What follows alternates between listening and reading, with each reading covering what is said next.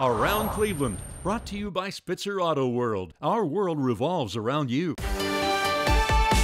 Hi, I'm Teresa Strasser, and you're on the list. Well, it's a good thing it's warming up this weekend. Mike Brookbank explains why some RTA riders may be getting an eyeful around Cleveland. At number one,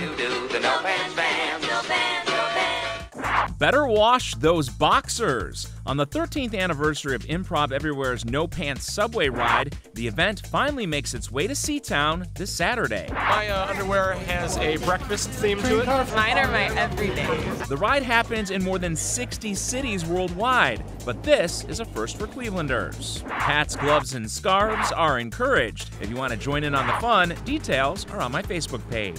At number two, See our river that catches on fire. not anymore, our burning river is getting cleaner. Clean up, clean up, everybody everywhere. After 45 years, the Army Corps of Engineers says the Cuyahoga River sediment is finally clean enough to dump into Lake Erie. Now, that doesn't mean that's going to happen, and it likely won't, but it's just another sign of the huge changes made in our city. And at number three, Disney on Ice is back at the Q, and you know what that means Mickey Mouse. Hey, let's get the show started.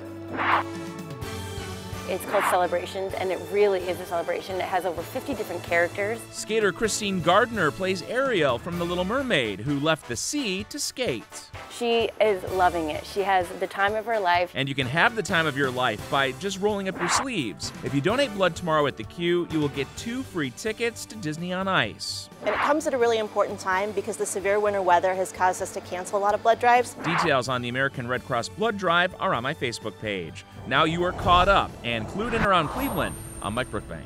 Around Cleveland, brought to you by Spitzer Auto World. Our world revolves around you.